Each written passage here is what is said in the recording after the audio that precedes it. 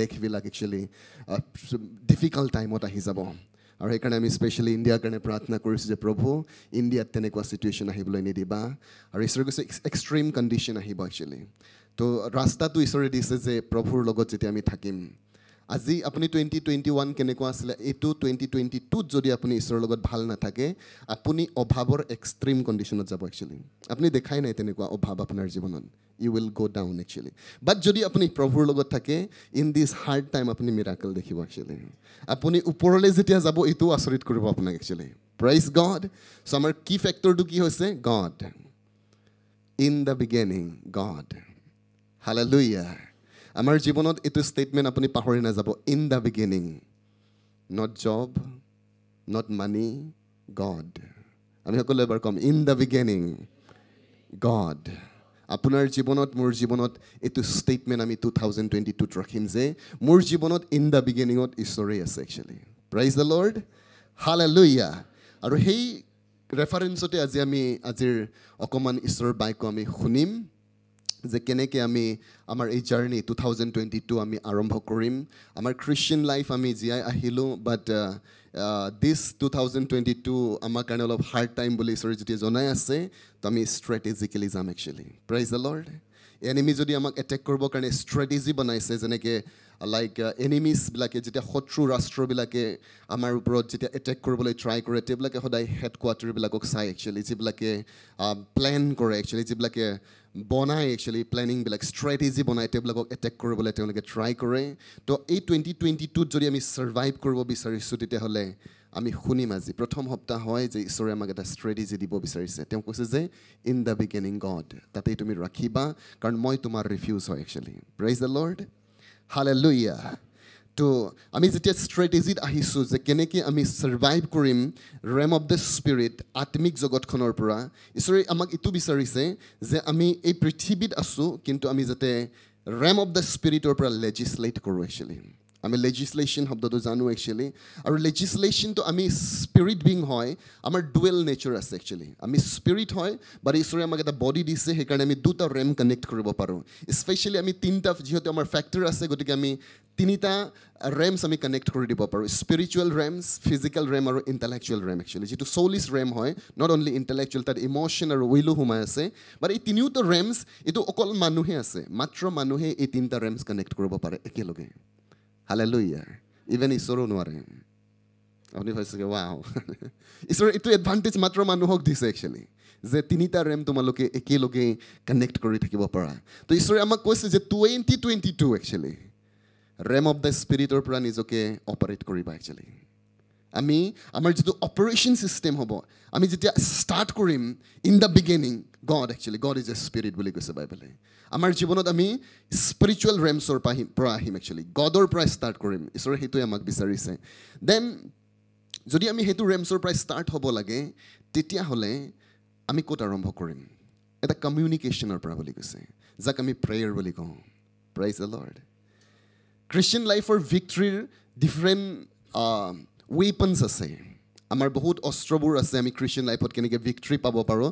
But not a single area বুলি কৈছে। আমাৰ জীৱনৰ এটা ছিংগল এৰিয়া নাই যদি ঈশ্বৰে প্ৰাৰ্থনাৰ কথা কোৱা নাই একচুৱেলি আৰু সেইকাৰণে আমি আজি ভেৰি ফাৰ্ষ্ট ডে মই একচুৱেলি ডিচাইড কৰিছিলোঁ ঈশ্বৰক কৈছিলোঁ যে প্ৰভু ইয়াত আমি এতিয়া ডিছকাছ কৰিম একচুৱেলি ভেৰি ফাৰ্ষ্ট উইক হয় গতিকে ডিচিশ্যনৰ ওপৰত আমি আহিম একচুৱেলি বাট ঈশ্বৰে মোক কৈছে no this is prayer actually start your year আপোনাৰ day every time it's by prayer actually আৰু এই এই সময়ছোৱাত যদি তুমি মানে ছাৰ্ভাইভ কৰিব বিচাৰিছা your prayer life should be top priority actually hallelujah praise God ছয়তানে যদি কোনোবা বিলিভাৰ্ছৰ জীৱনত কিবা এটা কৰিব বিচাৰে এটেক কৰিব বিচাৰে আপোনাক ডেষ্ট্ৰয় কৰিব বিচাৰে ফাৰ্ষ্ট এটেক আপোনাৰ প্ৰাৰ্থনাৰ লাইফত কৰে তেওঁ। ভেৰি ফাৰ্ষ্ট টাইম আপুনি মনত ৰাখিব যে যদি চৈতানে আপোনাৰ জীৱনত আপোনাৰ ফেমিলিৰ জীৱনত আপোনাৰ নেশ্যনত আপোনাৰ চাৰ্চত যদি তেওঁ কিবা এটা কৰিব বিচাৰিছে আৰু তেতিয়াহ'লে তেওঁ প্ৰথম কাম কৰিব যে আপোনাৰ প্ৰেয়াৰ লাইফ মাৰিব একচুৱেলি তেওঁ। কাৰণ য'ত প্ৰাৰ্থনা হৈ থাকে তেওঁ চৈতানে একচুৱেলি বহুত দেৰিলৈকে খোপনি পুতিব নোৱাৰে একচুৱেলি আৰু সেইকাৰণে তেওঁ আপোনাক চাইলেঞ্চ কৰাব বিচাৰে। Hallelujah don't be deceive church আপুনি ডিচিভড হৈ যাব নালাগে। আপুনি আমি লাইক কুমুদ পাছ কুমুদৰ পৰা শুনিছিলোঁ যিদিনাখন আপোনাৰ প্ৰাৰ্থনাৰ জীৱন গ'ল আপুনিও গ'ল। দেটছ ৰাইট আপোনাক মাৰাৰ আগতে তেওঁ আপোনাৰ প্ৰাৰ্থনাৰ জীৱন মাৰি ল'ব একচুৱেলি আৰু ই যদি গৈছে আপুনি যাবলৈ ৰেডি হ'ব লাগে একচুৱেলি হালেলুয়া প্ৰাইজ গড তো জন ফৰ্টিন থাৰ্টিন জিজাছ যীশুৱে এনেকৈ কৈছে and what so' ever you ask in my name that I will do because I go' to my father ইয়াত ঈশ্বৰে কৈছে যিকোনো বিষয়বস্তু তুমি মোৰ নামেৰে খুজিবা সেই বিষয়বস্তুটো মই তোমাৰ কাৰণে কৰি দিম। কাৰণ মই মোৰ পিতৃৰ ওচৰলৈ যাওঁ।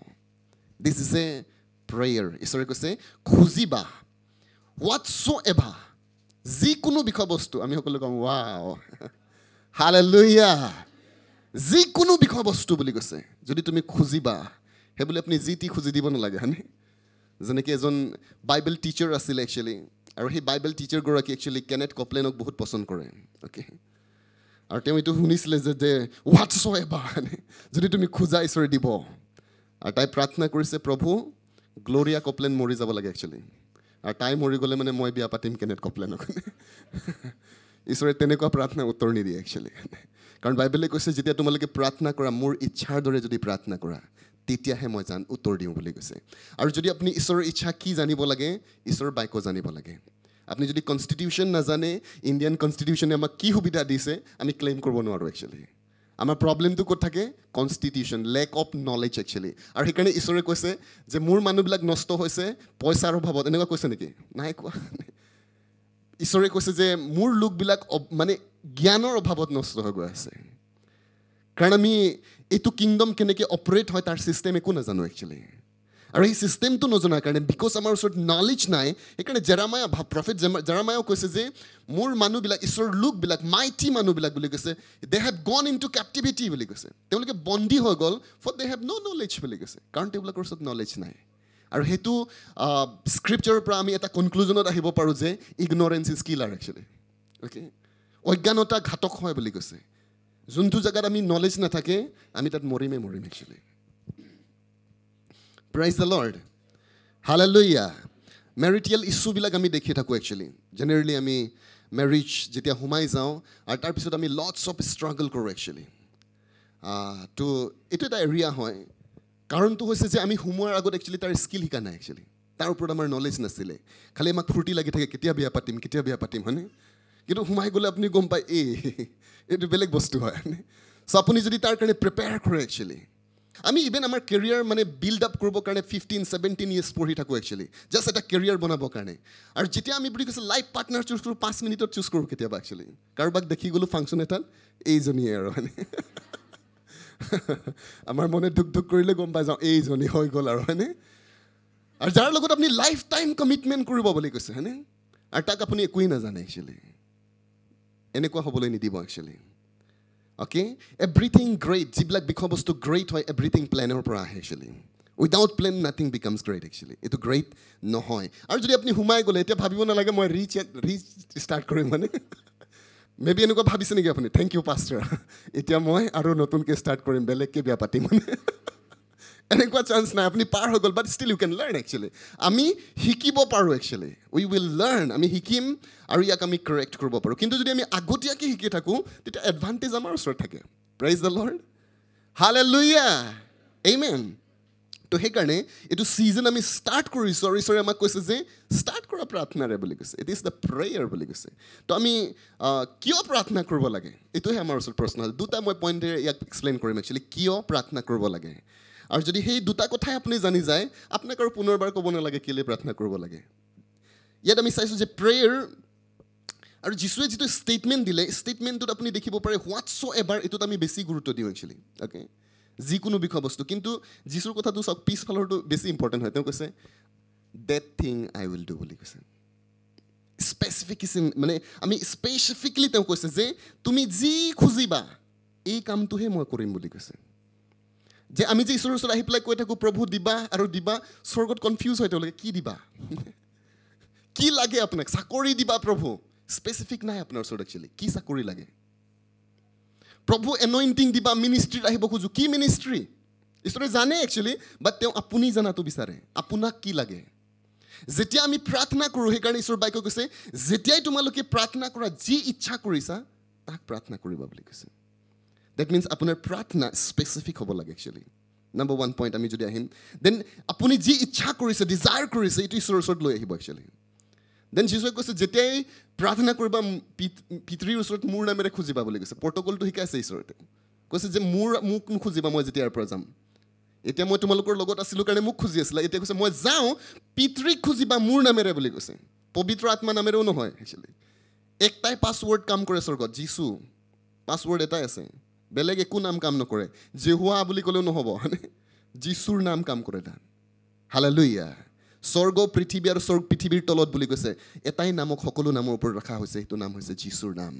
সকলো কম thank you Jesus hallelujah then আমি গম পাইছোঁ যে নাম্বাৰ ওৱানটো আছিলে স্পেচিফিক পইণ্ট আপুনি ঈশ্বৰৰ ওচৰত লৈ পেলাই আহিছে যীশুৰ নামত বিচাৰিছে তাৰপিছত আটাইতকৈ ইম্পৰ্টেণ্ট কথাটো হৈছে যে pray according to the will of God actually will of God ঈশ্বৰৰ ইচ্ছাৰ মতে প্ৰাৰ্থনা কৰিব আপুনি একজেক্টলি কাৰণ বা ঈশ্বৰে নিজেই কৈছে যে মোৰ ইচ্ছাৰ দৰে প্ৰাৰ্থনা কৰিলে মই তাক শুনো বুলি কৈছে।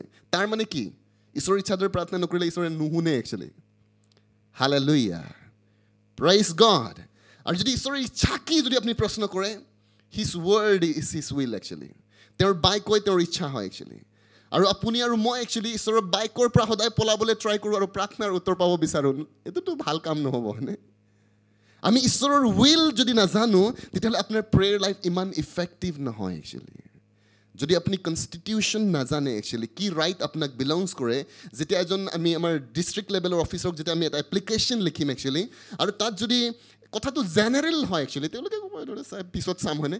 বাট যদি ভেৰি কনষ্টিটিউশ্যনেলি ভেৰি ইফেক্টিভ লিখে তেওঁলোকে অঁ এইটো এইটো এইটো চাব লাগিব। প্ৰথমে এইটো চাম আমি একচুৱেলি কাৰণ তাত এটা স্পেচিফিক বিষয় আহিছে আৰু back up by the constitution actually যেতিয়া আমাৰ প্ৰাৰ্থনা স্বৰ্গলৈ যায় একচুৱেলি জেনেৰেল প্ৰাৰ্থনা হ'ব নালাগে একচুৱেলি বাইবেলে কৈছে what do you want actually that thing বুলি কৈছে। সেই বস্তুটোৱেই মই কৰিম। প্ৰাইজ দ্য লৰ্ড আপুনি কৈছে প্ৰভু মোক টিচাৰ বনাই দিয়া। কৰ teacher L P school university college specific আনক একচুৱেলি যে ঈশ্বৰক মোক কি লাগে প্ৰভু that's what God wants amen তো আপুনি ভাবিছে ঈশ্বৰে নাজানে নেকি জানে আপুনি জানে নে নাজানে এইটোহে মেটাৰ কৰে প্ৰাইজ গড হালে লুইয়া অ'কে নম্বৰ ওৱান কাৰণটো হৈছে আমি কি কাৰণে প্ৰাৰ্থনা কৰিব লাগে যে গড নিডছ আৱাৰ পাৰ্মিশ্যন ঈশ্বৰক আপোনাৰ আৰু মোৰ পাৰ্মিশ্যন লাগে আপোনাৰ জীৱনত কাম কৰিবৰ কাৰণে আপুনি ভাবিছে এইটো কেনেকুৱা কথা গড টু গড হয় হয়নে ঈশ্বৰ টু ঈশ্বৰ হয় আৰু তেওঁক জানো পাৰ্মিশ্যন লাগে। হয় লাগে। আপোনাৰ আৰু মোৰ জীৱনত বহুত কাম এইকাৰণেই নহয় কাৰণ আপুনি প্ৰাৰ্থনা নকৰে। আকৌ মই ৰিপিট কৰিম। আপোনাৰ আৰু মোৰ জীৱনত বহুত কাম হ'বলগীয়া কাম নহয় কাৰণ আপুনি প্ৰাৰ্থনা নকৰে। ঈশ্বৰে দিবলৈও ইচ্ছা কৰে একচুৱেলি বাট আপোনাক নিদিয়ে কাৰণ তেওঁ দিব নোৱাৰে। আৰু দিবলৈ হ'লে আপুনি পাৰ্মিশ্যন দিব লাগিব একচুৱেলি পাৰ্মিশ্যন দিবলৈ হ'লে আপুনি প্ৰাৰ্থনা কৰিব লাগিব। জেনেচিছ ওৱান টুৱেণ্টি ছিক্স যদি আমি পঢ়িম এই বাক্যটোৱে ঈশ্বৰে ইয়াত এষ্টাব্লিছ কৰিছে। পাছে ঈশ্বৰে ক'লে ঈশ্বৰৰ যিটো শব্দ আপুনি পাইছে আৰু এই শব্দটো আমি গম পাইছোঁ যে পিতৃ ঈশ্বৰ আমি নিজৰ প্ৰতিমূৰ্তি মূৰ্তিৰ দৰে আমাৰ সাদৃশ্যৰে মানুহ নিৰ্মাণ কৰোঁ হওক। সিবিলাকে সমুদ্ৰৰ মাছ আকাশৰ চৰাই ঘৰচীয়া পশু সমুদায় পৃথিৱী আৰু পৃথিৱীত বগাই ফুৰা সকলো জন্তুৰ ওপৰত অধিকাৰ চলাওক বুলি কৈছে। ইয়াত দুইটাই কথা ইমান ইম্পৰ্টেণ্ট আছে একচুৱেলি আৰু এই গোটেই কথাটো যদি আপুনি বুজি পাই যায় দুটা বিষয়বস্তু আপোনাৰ আণ্ডাৰষ্টেণ্ডিং অৰ্থাৎ স্পিৰিচুৱেল লাইফ এটা বেলেগ ডাইমেনশ্যনত গতি কৰিব একচুৱেলি ঈশ্বৰে কৈছে দুটা বিষয় আছে। তেওঁ কৈছে লেট আছ বুলি কৈছে। আহা আমি নিজৰ প্ৰতিমূৰ্তিৰে লেট আছ মানে আপুনি গম পাইছে আহা আমি। গড যেতিয়া আমি পাইছোঁ এইটো শব্দটো এলহিম হয় একচুৱেলি আৰু এলহিম হিব্ৰু ৱৰ্ড হয় এইটো প্লুৰেল ফৰ্ম হয় একচুৱেলি আৰু ইয়াৰ ছিংগুলাৰ ফৰ্মটো এলহা হয় একচুৱেলি যেতিয়া ছিংগুল কোনোবা গড পিতৃ ঈশ্বৰে কয় এলহা বুলি ক'ব হয়নে? বাট এলহিম আছে তাত একচুৱেলি ডেট মিনছ তাত প্লুৰেল নেচাৰ আছে একচুৱেলি আমাৰ গড থ্ৰিনিউন গড হয় actually father God Jesus the son of God আৰু পবিত্ৰ আত্মা। পবিত্ৰ আত্মা জুনিয়ৰ গড নহয় actually because of their function actually তেওঁলোকৰ কামৰ ভিত্তিত তেওঁলোকক ভাগ কৰা হৈছে। বাট কোনো জুনিয়ৰ গড নাই তাত একচুৱেলি প্ৰাইজ দ্য লৰ্ড আৰু কিছুমানে ভাবে তিনিটাত একটা এইটো কেনেকুৱা কথা হয়নে? তো ঈশ্বৰ বাক্য একচুৱেলি ইয়াক প্ৰুফ কৰিছে যে ইয়াত তিনিজনো আছিলে একচুৱেলি একেলগে আছিলে। প্ৰথমে ঈশ্বৰে ক'লে বুলি কৈছে দেন বুলি কৈছে পবিত্ৰ আত্মা উমাই আছিলে বুলি কৈছে দেন দ্য ৱৰ্ড বুলি কৈছে। ঈশ্বৰে যেতিয়া কথা ক'লে ইট বিকেমছ একচুৱেলি যিটো কৈ দিলে এইটো হৈ গ'ল থ্ৰী আৰ কম্বাইণ্ড বুলি কৈছে। যেতিয়া তিনিজন কম্বাইন হৈ যায় ছামথিং ক্ৰিয়েটেড তাত সৃষ্টি হৈ যায় একচুৱেলি প্ৰাইজ দ্য লৰ্ড আৰু এটা আমি ইনচিডেণ্ট দেখিছোঁ বহুত আছে বাট আমি যেতিয়া জৰ্ডন নদীত যীচু যেতিয়া বাপ্তিস্ম ল'বলৈ আহিলে আৰু যেতিয়া বাপ্তিস্ম লৈ আছিলে আৰু তেতিয়া স্বৰ্গ খোল খালে বুলি কৈছে। আৰু তাৰ পৰা এটা মাত আহিলে this is my beloved son এইজন মোৰ প্ৰিয় পুত্ৰ পিতৃ ঈশ্বৰ স্বৰ্গৰ পৰা কৈ আছে। আৰু তাৰপিছত কপৰ আকাৰে পবিত্ৰ আত্মা নামি আহিলে। আৰু তাৰ ওপৰত ৰৈ গ'ল triune God actually praise the Lord hallelujah amen okay আমি বহুত সময়ত কনফিউজ হওঁ যে যীশুৱেই পিতৃ হয় পিতৃয়েই যীশু হয় কোনটো কোন হয় মই বুজি পোৱা নাই যীশু যীশু হয় পিতৃ পিতৃ হয় আৰু পবিত্ৰ আত্মা পবিত্ৰ আত্মা হয় একচুৱেলি কাৰণ যীশুৱে কৈছিলে মই আহিছোঁ মোৰ পিতৃৰ ইচ্ছা পালন কৰিবৰ কাৰণে। যদি তেওঁৱেই পিতৃ হ'লেহেঁতেন হয়নে? তেওঁ সেইষাৰ কথা নক'লেহেঁতেন। প্ৰাইজ গড হাল লুইয়া অ' কি ইয়াত কৈছে যে লেট আছ মেক মেন আমাৰ নিজৰ প্ৰতিমূৰ্তিত আমি মানুহ সৃষ্টি কৰোঁ হওক। তেতিয়াহ'লে আপুনি কনফিউজ হ'ব নালাগে। ঈশ্বৰ আপোনাৰ নিচিনা দেখে একচুৱেলি কোনে ভাবিছে হাতী নিচিনা দেখে? বাইবেলে কৈছে ঈশ্বৰ আমাক নিজৰ প্ৰতিমূৰ্তিত বনাইছে। ঈশ্বৰ আমাৰ নিচিনা দেখে একচুৱেলি হালে লুইয়া আৰু স্পেচিয়েলি এইটো এৰিয়াত ঈশ্বৰে কৈছে যে God is a spirit actually তেওঁ বডিৰি ফৰ্ম কেনেকুৱা দেখিব এইটো আমাৰ নিচিনাই দেখিব চাগে হয়নে? কিন্তু তেওঁৰ যিটো স্পিৰিট আছে জাষ্ট লাইক আছ একচুৱেলি আমি তেওঁৰ নিচিনাই হয়। এইমেন দেন দুই নম্বৰত কৈছে লেট দেম হেভ ডমিনিয়ন বুলি কৈছে। তেওঁলোকে অধিকাৰ চলাব। পৃথিৱীত থকা সকলো জন্তু চৰাই পক্ষী পক্ষী এভৰিথিং ডেট মিনছ ঈশ্বৰে আনাডাৰ ৱৰ্ড এইটো কৈছে যে যে যিবিলাক মানুহ আমি সৃষ্টি কৰিম পৃথিৱীত they are the god of this world actually তেওঁলোকহে পৃথিৱীৰ ঈশ্বৰ হয় মই কোৱা নাই বাইবেলে কৈছে লেট দেম হেভ ডমিনিয়ন নহ'লে ঈশ্বৰে যদি কিবা এটা ৰাখিলে তেওঁ ক'ব পাৰিলেহেঁতেন আহা আমি তেওঁলোকৰ জৰিয়তে শাসন চলাওঁ হওক হয়নে নাই কোৱা ঈশ্বৰে ডিৰেক্টলি কৈছে যে লেট দেম হেভ ডমিনিয়ন তেওঁলোকক অধিকাৰ চলাবলৈ দিয়া আৰু যেতিয়া ছয়তানে শুনি গ'ল এইটো কথা তেওঁ কৈছে আহা বুলি কৈছেনে এইটোত একবাৰ মই চান্স পাই গ'লোঁ একচুৱেলি ঈশ্বৰ তেওঁ ভাবিছে চাগে পাৰ্টি হৈছে নৰকতাৰ কৈছে ঈশ্বৰ তুমি এইটোহে ডাঙৰ ভুল কৰিলা একচুৱেলি হয়নে? কাৰণ যেতিয়ালৈকে এইটো ডমিনিয়ন ঈশ্বৰৰ হাতত আছিলে ছয়তান কনফিউজ আছিলে মই চাগে কেতিয়াও নাপাম আৰু। তেতিয়া তেওঁ কৈ দিলে যে এই ব্যক্তিসকলেই পৃথিৱীৰ ঈশ্বৰ হয়। তেওঁ কৈছে যে লেড এতিয়া মই মানুহৰ লগত ডিল কৰিম। প্ৰাইজ গড আমি যদি হিউমেন বুলি কৈছে আমাক একচুৱেলি আমি যদি প্ৰশ্ন কৰোঁ আমাক কেলৈ হিউমেন বুলি কোৱা হয়? নে হিউমেন আমি হিউমেন বিং হয় একচুৱেলি চ' যিটো হিউমেন বি ৱৰ্ডটো একচুৱেলি দুটা ৱৰ্ডত কম্বাইন হৈ আছে হিউমাছ মেন বুলি কৈছে। হিউমাছ মেন আৰু এই হিউমাছ শব্দটোৰ অৰ্থ হৈছে লাইক ডেথ অৰ চইল ভূমি বা মাটি বা মৃত্যু বুলি কৈছে। And man is a spirit actually মানুহ প্ৰকৃততে আত্মা হয় যিটো মেইন তাত শব্দ আছে ইটছ এ স্পিৰিট আৰু হিউ হিউমাছ যিটো শব্দ আমি পাইছোঁ ইটছ এ চইল মাটি।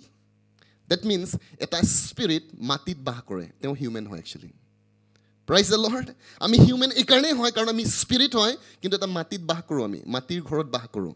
আমাৰ যিটো ফিজিকেল বডি আছে it is made up by actually soil or land বা ঈশ্বৰে যিটো মাটি ইউজ কৰিছিলে আদাম বনাবৰ কাৰণে তাৰপিছত আমি ইভক গম পালোঁ মাটিৰ পৰা বনোৱা নাই হয়নে কি কাৰণে বনোৱা নাই আমাক মই আপোনাক ক'ম একচুৱেলি যেতিয়া আমি বহুত সময়ত ভাবোঁ যে ঈশ্বৰে আদাম বনালে মাটি তাৰপিছত হাৱাকো বনা ময়ো ভাবিছোঁ এদিন কেলৈ নবনালে একচুৱেলি সি মাটিৰ পৰাই দুইটাক বনাই দিব পাৰিলেহেঁতেন প্ৰথমতে হয়নে বহুত কাৰণ আছে বাট নাদাৰ কাৰণ এইটো হৈছে মেজৰ কাৰণটো এইটো একচুৱেলি যেতিয়া ঈশ্বৰে একচুৱেলি হাৱাক বনাবৰ কাৰণে আদাম বুলি কৈছে তেওঁক টোপনি যাবলৈ দিলে বুলি কৈছে তাৰ পৰা এটা ৰিপছ উলিয়ালে বুলি কৈছে মে বি তেওঁ টোপনি যোৱাই পেলাই ঈশ্বৰটো অল অমনিচিয়েঞ্চ হয় বাট ডিফাৰেণ্ট ৰিজন আছে বাট যেতিয়া টোপনি গ'ল তেওঁ এতিয়া একচুৱেলি চইল ইউজ কৰিব নোৱাৰে কাৰণ তেওঁ ক'লে যে মানুহ সৃষ্টি কৰাৰ পিছতে এতিয়া ডমিনেণ্ট মোৰ হাতত নাই একচুৱেলি আৰু এতিয়া যদি পাৰ্মিশ্যন ল'ব লাগে সিও টোপনিত আছে কাৰ পৰা পাৰ্মিশ্যন ল'ব হালে লুইয়া চ' ডিফাৰেণ্ট প্লেনত ঈশ্বৰে বনাইছিলে বাট মই জাষ্ট আপোনাক এইটো এটা থট ৰাখিছোঁ আপুনি ভাবিব পাৰে it's not a doctrine actually এইটো ডক্ট্ৰিন নহয় বা আপুনি মোক যদি শুনিলে এইটো ক'ৰ পৰা থিয়লজি এনেকুৱা আহি গ'ল হয়নে জাষ্ট মই এটা কথা আপোনাক ৰাখিছোঁ যে মই কেতিয়াবা ভাবোঁ তেনেকুৱা কথা মে বি ঈশ্বৰ অলপ ভাবিলে যে এতিয়াতো মই পাৰ্মিশ্যনো ল'ব নোৱাৰোঁ গতিকে তাইৰ ৰিবৰ পৰাই উলিয়াই দিম আৰু আনাদাৰ কাৰণ আছে